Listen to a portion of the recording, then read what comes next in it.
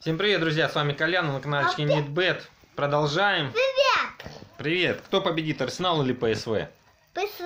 ПСВ победит. Это у нас Лига Европы. Арсенал против ПСВ. Арсенал идет на первом месте 9 очков, ПСВ вторые 7 очков.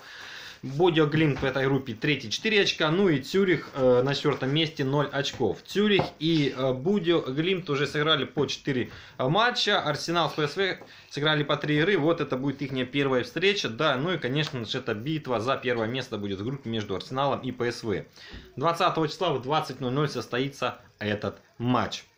Да, у Арсенала не будет играть э, Зинченко, у него травма. В последних матчах Арсенал обыграл Лиц 1-0, обыграл Ливерпуль со счетом 3-2.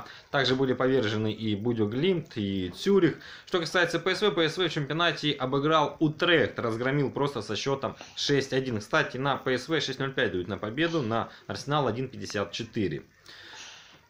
Битва за первое место. Жду здесь очень много голов. Тотал больше 3,5 в матче за коэффициент 2,45. Вот такая вот, друзья, мысль.